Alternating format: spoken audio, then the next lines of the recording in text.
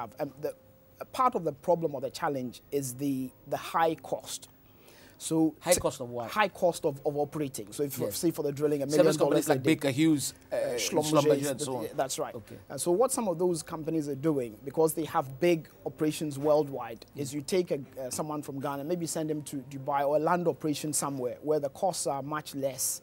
And it's very much a repetitive uh, process. So if you've seen uh, how someone drills, how you run the casing, how you cement it in place, uh, then you can bring that same knowledge and then put it into a, into a deep water uh, environment. So one of the challenges we have is, uh, and because the, the, industry isn't fully developed, I mean, there's Jubilee, there are other companies drilling a well here, a well there, mm. um, is you don't have um, so many opportunities mm. or that many places to actually go and do that practical uh, mm. training. So then you need to try and find other ways. So it's, it's, um, it's going to start slowly. It will take a, a while to build it, but mm. the, the, important thing is to make a start and make sure that the level or the quality of the training is, is excellent. You, you need to, um, and so we do it internally, mm. uh, but we also have quite a lot of influence on yeah. the service companies or the yeah. other companies that are here working for us. Yes. So it's not just a matter of sending somebody on training. Mm. So, I mean, if I look, I started out talking about some of our guys. Yeah. You need to go on a helicopter flight. God forbid something happens.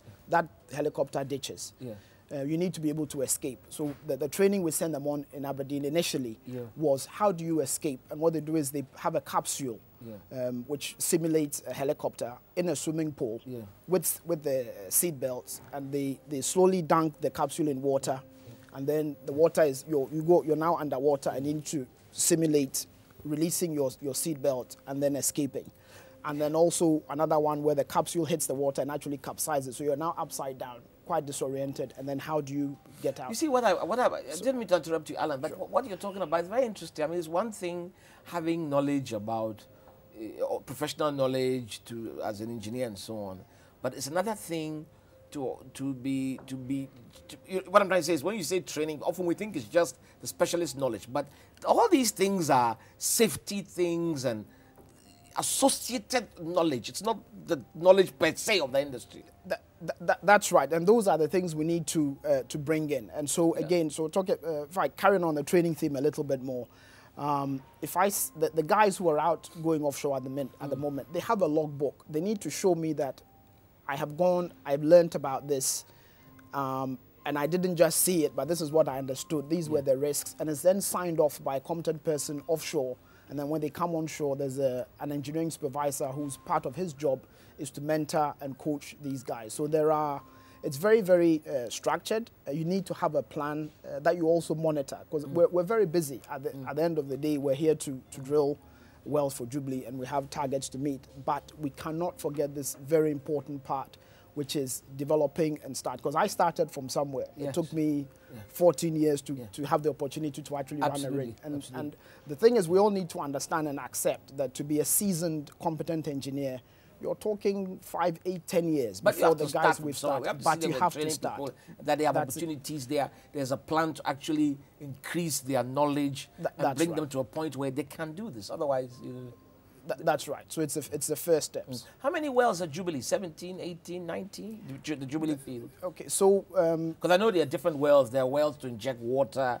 The production, well, you know, the different wells. Right. So phase one. Yes. There are 17 wells in, in phase one. That's what I'm saying. And phase that's one right. is what? It's where we are now. This is phase Th one. That's where Jubilee. we are and now. And it ends in what year? Um, phase one will end when we've drilled the, the and completed the 17 wells, that's connected it. everything up to the to subsea infrastructure and, and to back the FPSO. to the FPSO. Right. That's right. That, that's end of this one. year. Um, so the first oil is um, is forecast for the fourth quarter of this year. Yes. Uh, even after first oil, we will continue completing because you only need a, a, certain number of wells initially, but mm. we'll still be going on uh, till about second half of, of next year is really maybe when you could you Sinking see more wells. We've, we've finished drilling the uh, 16 of the 17 wells that, that we, we right, need. Right, um, and then but I'm saying now, phase one, that's all it needs, phase one. Those 17 wells. That's what I'm saying, That's no right, more. drilled and completed. Okay. That's right. Thank you. I mean, I look forward to seeing a man like you at the head of Tullow one fine day in the future. thank you. Alan, thank you very much. Thank you.